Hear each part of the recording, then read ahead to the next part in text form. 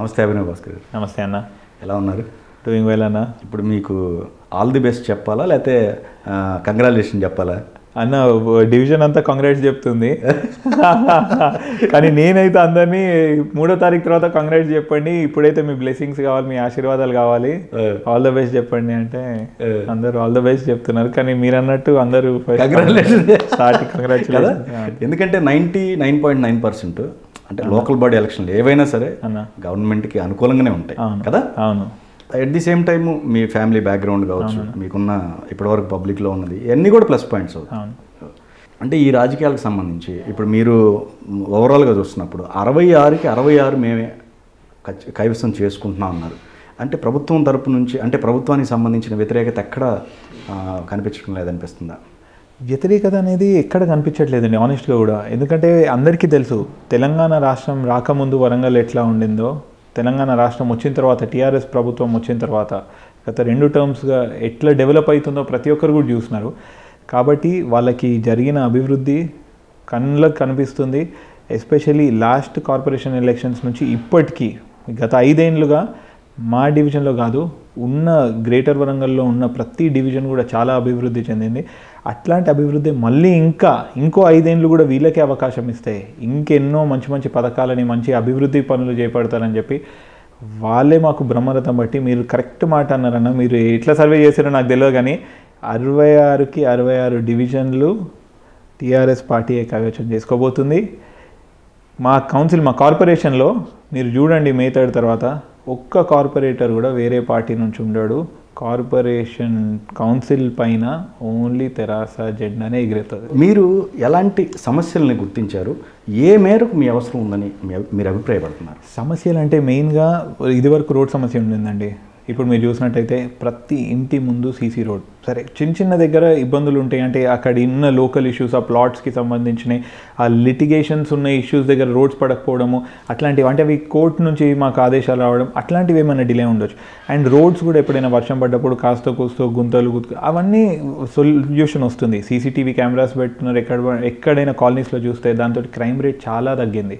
So ఇది వరకు evenings అయితే కొంచెం ఇబ్బంది పడేవాళ్ళు లేడీస్ కానివ్వండి లేకపోతే ఎవరైనా వృద్ధులు బయటికి వెళ్ళాలంటే. ఇప్పుడు అట్లాంటి భయం కూడా లేదు సీసీటీవీ కెమెరాస్ తోటి. డ్రైనేజ్ సిస్టమ్ దగ్గర కొన్ని కంప్లైంట్స్ ఉన్నాయండి. బట్ డ్రైనేజ్ సిస్టమ్ ఏమైందంటే మళ్ళీ కొత్త టెండర్స్ పిలిచిన తర్వాత ఎమ్మెల్సీ ఎలక్షన్స్ రావడం ఈ ఎలక్షన్స్ సో అట్లా తరచూ కోడ్ రావడంతో ఆ వర్క్స్ కొన్ని కంప్లీట్ కాలేదు. బట్ అన్ చా- అన్ని చాలా వరకు రీటెండర్స్ పిలవడం జరిగింది. కాంట్రాక్టర్స్ కూడా రెడీ ఉన్నారు. ఇది ఎలక్షన్ అయిపోయిన వెంటనే ఖచ్చితంగా డ్రైనేజ్ సిస్టమ్ కూడా ఆల్రెడీ చాలా ఇంప్రూవ్ అయింది. రాను రాను ఇంకా ఇంప్రూవ్ అవుతుంది. అది బోను అన్నిటికంటే మోస్ట్ ఇంపార్టెంట్. ఇంటి ఇంటికి మిషన్ భగీరథ చేయబట్టి ఇంటి ఇంటికి నీళ్ళు వస్తున్నాయి ఇప్పుడు. ఒకప్పుడు తెలంగాణ అంటే డ్రై డ్రై రీజన్. వర్షాలు పడితేనే కానీ మాకు తాగే తాగే నీళ్ళు కానివ్వండి లేకపోతే మా పంటలకు నీళ్ళు కానీ ఇప్పుడు మిషన్ కాకతీయ మిషన్ భగీరథ కాలుష్యం ఇట్లాంటివన్నీ చేయబట్టి అసలు నీళ్ళకి ఇబ్బంది లేదు. రైట్ సో అసలు ఇంకా రానున్న ఐదేళ్ళలో మీరే చూస్తారన్న సూపర్ అభివృద్ధి అవుతుంది. అన్ని కార్పొరేషన్స్లో ఎస్పెషల్లీ సరే ఉట్టి వరంగల్ మున్సిపాలిటీ గురించి మాట్లాడితే ఉన్న అన్ని కార్పొరేషన్స్లో స్టేట్ వైడ్ వరంగల్కి ఒక ప్రత్యేక గుర్తింపు ఉన్నది ఒక స్మార్ట్ సిటీగా కానివ్వండి ఒక హెరిటేజ్ సిటీగా కానివ్వండి అదే గుర్తింపుని ఒక బెస్ట్ సిటీగా కూడా మా అందరిపైన బాధ్యత ఉంది మా బాబాయ్ పైన కానివ్వండి ఇక్కడ ఉన్న మినిస్టర్ల పైన కానివ్వండి మా కార్పొరేటర్స్ పైన సో అదే మేము కంటిన్యూ చేసి ద బెస్ట్ కార్పొరేషన్ చేసుకుంటాం మేము ఈ ఐదేళ్ళలో. అంటే ప్రణయ్ భాస్కర్ గారు కొడుకుగా ఇద్దరు బాబాయిలకు సంబంధించిన రికగ్నైజేషన్ కాకుండా మీకంటూ ప్రయత్నాలు ఏమైనా చేసుకున్నారా వచ్చిన దగ్గర నుంచి? ఎందుకంటే చాలామంది కూడా ఆయన యుఎస్ రిటర్ను సో అనేది ఒక అపోహ ఉంది. ఆ అపోహలను తొలగించే ప్రయత్నం ఏమైనా చేశారా? నేను యాక్చువల్లీ పుట్టి పెరిగింది వడ్డేపల్లిలోనే. ఈ ఇంట్లోనే పుట్టి పెరిగినాను. రైట్ నాన్న మినిస్టర్ అయినప్పుడు నన్ను తీసుకెళ్ళి హైదరాబాద్లో చదివించడము ఎందుకంటే నాన్న మినిస్టరే అక్కడ మేము షిఫ్ట్ అవ్వడం జరిగింది. అక్కడ హైదరాబాద్లో చదువుకోవడము ఎంబీఏ కోసం నేను యూఎస్కి వెళ్ళినాను. అక్కడ నాలుగేళ్ళు పనిచేసి నేను గత నాలుగేండ్ల నుంచి వరంగల్లోనే ఉంటున్నాను. నాకు ఇక్కడే బిజినెస్లో ఇక్కడే ఉన్నాయి. నా ట్రస్ట్ తోటి నేను చాలా చాలా మంచి పనులు చేస్తున్నాము. మేము మా ఎన్జిఓ తోటి మేము ఎడ్యుకేషన్ వెల్ఫేర్ గురించి కానివ్వండి మొన్న కోవిడ్ టైంలో లాస్ట్ ఇయర్ సుమారు రెండు వేల కుటుంబాలకి నిత్యావసర సరుకులు మా ట్రస్ట్ ద్వారా మేము చేయడం జరిగింది. ట్రస్ట్ పేరు ఏంటండి? Sarvodaya Mitra Mandali Sarvodaya మిత్రం. Okay okay. So ఎడ్యుకేషన్కి పరంగా హెల్త్ కేర్ పరంగా అండ్ uh, కోవిడ్కి ఎస్పెషల్లీ శానిటైజర్సే కానివ్వండి ఎయిట్ నైంటీ ఫైవ్ మాస్కే కానివ్వండి uh, నిత్యావసర సరుకులు వాళ్ళకి అప్పుడు లాస్ట్ టైం కోవిడ్ టైంలో వాళ్ళకి ఇంటింటికి బియ్యం పంచి ఇంటింటికి నిత్యావసర సరుకులు పంచి చాలా సేవా కార్యక్రమాలు చేపట్టడం జరిగింది. మీరు అన్న అపోహ కరెక్టే. అది ఎక్కడంటే కొంచెం క్లాసీ కాలనీస్లో వాళ్ళకి మటుకు నన్ను చిన్నప్పుడు చూసిన తర్వాత మళ్ళీ వాళ్ళు ఎక్కువ తరచూ చూడకపోవడంతో వాళ్ళు అట్లా అనుకుంటున్నమాట వాస్తవమే. కానీ youngsters first time voters second time voters నాతోటి వాళ్ళు నాకంటే చిన్న వాళ్ళు నాకంటే కొంచెం పెద్ద వాళ్ళందరికీ నేను ఇక్కడే ఉన్నానని తెలుసు. అండ్ మా నాన్నగారి ఫ్రెండ్స్కి కానివ్వండి చాలామందికి పార్టీ వర్కర్స్ అందరికీ నేను ఇక్కడే ఉంటున్నానని తెలుసు అండి నా గత నాలుగేళ్ళుగా నేను ఇక్కడే ఉంటున్నాను వరంగల్లోనే. మీరు గమనించారండి అంటే ప్రస్తుత రాజకీయాల పరంగా చూస్తే మనం అంటే ముఖ్యంగా చదువుకోని వాళ్ళు రావటం కానీ రాజకీయాలు కూడా కుల మత ప్రాంతాలకి అతీతంగా ఉండాలంటే కొంచెం ఎడ్యుకేటెడ్ పర్సన్స్ కావచ్చు. ముఖ్యంగా లైట్ మైండెడ్ పీపుల్స్ ఉంటే పొలిటికల్ సిస్టమ్ బాగుంటుంది. మన సిస్టమ్ బాగుపడుతుంది. అనటానికి ఖచ్చితంగా ఇప్పుడు మీలాంటి వాళ్ళని ఉదాహరణగా తీసుకోవచ్చు. సో ఈ చేంజ్ ఓవర్ ప్రజల్లో అలాంటి థింకింగ్ ఉండు వస్తుందని మీరు భావిస్తున్నారు? ఖచ్చితంగా హండ్రెడ్ అండ్ వన్ పర్సెంట్ అండి. ఖచ్చితంగా వస్తుంది. ఖచ్చితంగా ఆదరిస్తున్నారు. నేను ఎవరింటికి వెళ్ళినా కానీ వాళ్ళు అడిగే ఫస్ట్ క్వశ్చన్ మీరు ప్రణయ్ భాస్కర్ అబ్బాయా? ఎందుకంటే ఫీచర్స్ కొంచెం మ్యాచ్ అయితే వాళ్ళు చూసి గుర్తుపడుతున్నారు ఓ మీరు ప్రణయ్ భాస్కర్ అబ్బాయి అవునండి.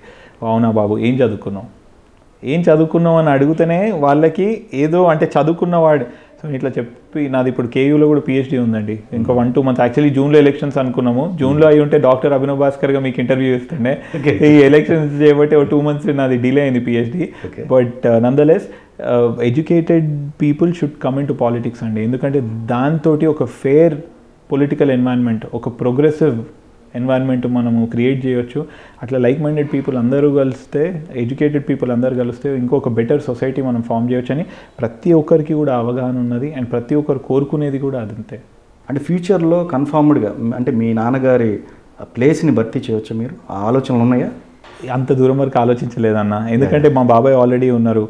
సో నాకేంటంటే పబ్లిక్ సర్వీస్ చేయాలన్నది కోరిక. ఎందుకంటే నేను చిన్నప్పటి నుంచి చూస్తున్నాను నేను పుట్టి పెరిగింది చెప్పాలంటే ఇక రాజకీయ వాతావరణం. నేను పుట్టక ముందు నుంచి నాన్నగారు యాక్టివ్ పాలిటిక్స్లో ఉన్నారు.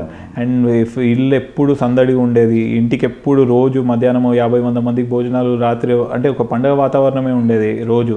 సో అది ఎట్లనో నా మైండ్లో అట్లా కూర్చుండిపోయింది. అండ్ నాన్నని ఇప్పటికి కూడా ఇరవై మూడు ఏళ్ళ తర్వాత కూడా అంటే ఇంటి కుటుంబ సభ్యులే చనిపోతే రెండు మూడు ఏళ్ళలో మర్చిపోయే ఈ రోజుల్లో ఇరవై మూడు ఏళ్ళ తర్వాత కూడా మా నాన్నని అంతే ఆప్యాయతంగా అంతే ప్రేమగా వాళ్ళు గుర్తు చేసుకుంటున్నారంటే అది ఏదో సర్వీస్ చేస్తేనే వాళ్ళంతా జ్ఞాపకం పెట్టుకుంటారు. సో అది నాకు ఒక మోటివేషన్ లాగా పడిపోయిందండి.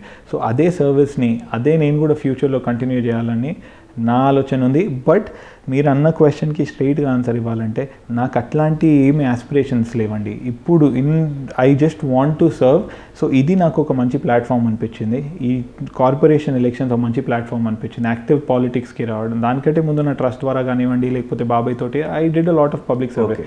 But నాకంటూ నాకు ఒక ఒక ఒక డివిజన్ ఉంటే నేను దాన్ని తీర్చిదిద్దో మోడల్ డివిజన్గా మా కార్పొరేషన్ తీర్చిదిద్దాలన్న ఆలోచన నాకుంది.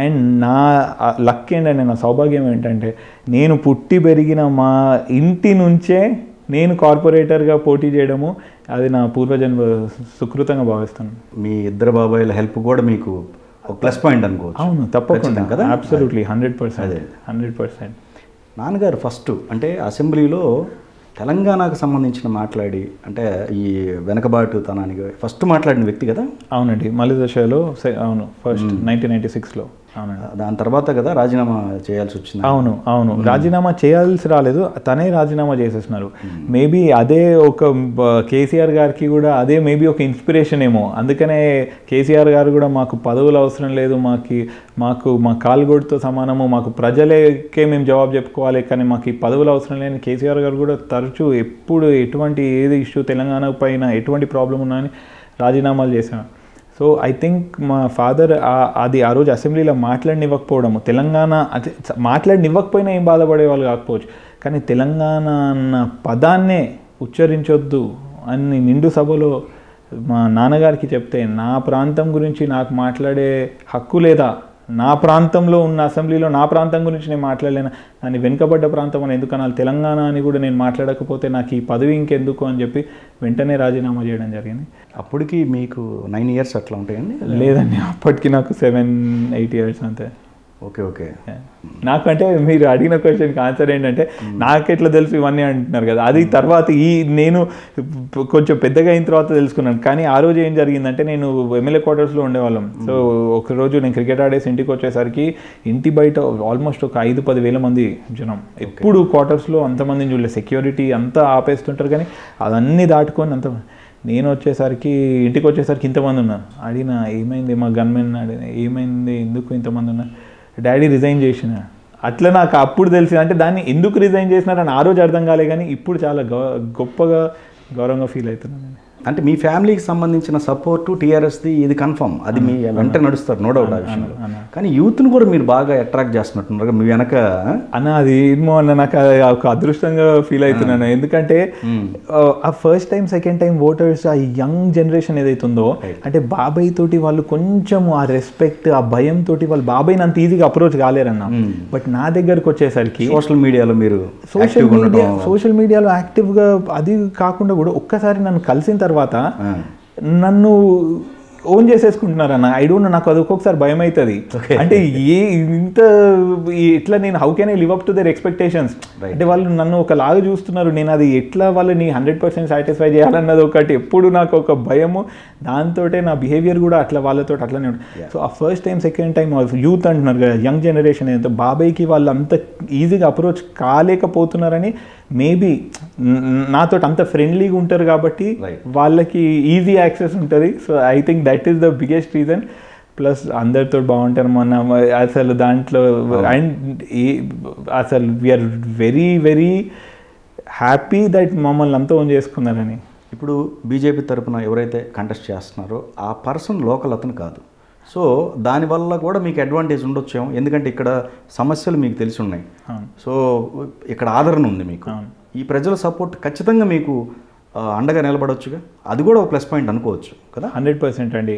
అంటే లోకల్ బాడీస్లో ఎస్పెషల్లీ అందరు ఏం చూస్తారంటే మా లోకల్ క్యాండిడేట్ అయి ఉంటే బాగుంటుంది మా డివిజన్ క్యాండిడేట్ అయి ఉంటే బాగుంటుంది ఎందుకంటే మా కష్ట సుఖాలు మా ఏమంటారు బాధలు అవన్నీ తెలుసున్న పర్సన్ ఉండుంటే అతను లోకల్ క్యాండిడేట్ కాదండి. అంటే మా డివిజన్ క్యాండిడేట్ కాదు. ఎక్కడో కాజీపేట నుంచి అక్కడ విమెన్ రిజర్వేషన్ అయిందని అక్కడ నిలబెట్టడం ఇష్టం లేక వాళ్ళ ఇంట్లో ఆడవాళ్ళని ఇక్కడికి వచ్చి ఓపెన్ దాంట్లో ఉంది అనే ఆలోచన తప్ప ఇక్కడ ఏదో చేద్దామని కాదు. ఆయనే ఆయన సొంత స్వార్థం కోసం ఇక్కడికి వచ్చి పోటీ చేస్తున్నాడు తప్ప ఇక్కడ అసలు ఆయనకి కనీసము నాకు తెలిసి ఏ రోడ్ ఎటు వెళ్తుంది వాళ్ళ ఇంటి సమస్యలు ఏంటి వాళ్ళకి అసలు ఎవరు ఆ ఇంట్లో ఎవరు ఉంటారు వాళ్ళు అసలు ఏంటి? అసలు నాకు తెలిసి అవగాహన కూడా లేదండి. సో మీరు అన్నట్టు అది నాకు చాలా పెద్ద అడ్వాంటేజ్ అండ్ అది ఒక్కటే కాదండి ఇంకా చాలా మా పార్టీ చేసే పనులే మాకు అడ్వాంటేజ్ మేము వాళ్ళకు ఉండే ఇచ్చే యాక్సెస్ మేము వాళ్ళతోటి ఉండే ఆ ప్రేమ అదే నా బిగ్గెస్ట్ ఫ్యాక్టర్ అండి ఈ ఎలక్షన్లో. ఫైనల్గా. ఇప్పుడున్న సర్వేల ప్రకారం చూస్తుంటే ఖచ్చితంగా మీ వైపే ఉన్నట్టు కనిపిస్తుంది. ఇక్కడున్న వాళ్ళని కూడా కొంతమందిని ఎంక్వైరీ చేస్తే కూడా. సో ఈ వడ్డేపల్లికి సంబంధించిన ఎలాంటి హామీలు మీరు ఇవ్వచ్చు? వడ్డపల్లి ప్రజలకి మేము కొత్తగా ఏం హామీలు ఇవ్వాల్సిన అవసరం లేదన్న. మేము వాళ్ళ కుటుంబ సభ్యులమే. రైట్. వేరే పార్టీ వాళ్ళకి డిపాజిట్లు కూడా రావండి వడ్డపల్లిలో. అంటే అంత మేము ఒక ఫ్యామిలీ మెంబర్స్ లాగా అంటే ఒక అబ్బాయిలాగా ఒక బాబాయ్ లాగా ఒక మామలాగా ఒక కొడుకులాగా ఒక అన్నలాగా ఒక తమ్ముడులాగా వాళ్ళ ఫ్యామిలీ మెంబర్స్ ఇంకా మమ్మల్ని ఓన్ చేసేసుకున్నారు వాళ్ళు. సో నా నేను ఎవరి దగ్గరికైనా వెళ్తే బాబు నిన్ను గెలిపించుకోకపోతే మా పరువు పోతుంది అని వాళ్ళు అంత ఓన్ చేసుకుంటే నాకు ఆ రెస్పాన్సిబిలిటీ సో వడ్డపల్లికి మేము ఇచ్చే హామీ అసలు వడ్డపల్లి ప్రజలకి మేము మా హామీ అవసరం వాళ్ళకి తెలుసు ఎట్లా మా ఫ్యామిలీ అండ్ వడ్డపల్లి అది టూ డిఫరెంట్ థింగ్స్ కాదండి అవి రెండు ఒకటే. కానీ హామీ ఏంటంటే మేము అందరికీ అందుబాటులో ఉంటాము. ఎప్పుడైనా కానీ మా ఫ్యామిలీ వడ్డపల్లి వాళ్ళకే కానీ వరంగల్ వాసవిలు ప్రతి ఒక్కరికి అందుబాటులో ఉంటాం ఎప్పుడు ఫోన్ చేసినా అన్న అని ఫోన్ చేసినా అని బ్రదర్ ఏదైనా కానివ్వండి వీఆర్ వెరీ యాక్సెసిబుల్ ఆ యాక్సెస్ తోటి ఆ చనువుతోటే వాళ్ళు మాకు వాళ్ళకి ఏ కష్టాలు వచ్చినా కానీ వాళ్ళ ఇంట్లో కష్టాలు కూడా మాకు చెప్పుకునే అంత స్వేచ్ఛ స్వాతంత్రం వాళ్ళు తీసుకున్నారు కాబట్టే మాకు మా గెలుపు సునాయాసంగా ఉంటుందని మేము భావిస్తున్నామండి. That is the only biggest factor for us so హామీలు అంటే మీరు అన్నట్టు డెవలప్మెంట్ వైజ్ కూడా ఇన్ఫ్రాస్ట్రక్చర్ వైజ్ కూడా నిన్ను స్టార్టింగ్లో చెప్పినట్టు కొన్ని మార్పులు చేర్పులు అంటే మార్పులు జరగడం. Right right change is the only constant thing in this world అంటారు. So change has to keep happening అన్న. సో ఐ ఎవరు nobody hundred percent happy with anything ఎవరు వందకి వంద శాతం సంతృప్తి పడరు ఎప్పుడు జీవితంలో. సో దేర్ ఇస్ ఆల్వేస్ చిన్న చిన్నవి ఉంటాయి. అవన్నీ చేస్తూ పోయి ఈ ఐదేళ్ళు కూడా ఖచ్చితంగా ఇంకా అభివృద్ధి బాటలో మేము నడుస్తామని మీ ద్వారా నేను మా ప్రజలందరికీ హామీ ఇస్తున్నాను. ముందు చెప్పినట్టుగా మీకు ఆల్ ది బెస్ట్ కాకుండా కంగ్రాచులేషన్ చెప్పు. థ్యాంక్ యూ సో మచ్ అన్న. Thank you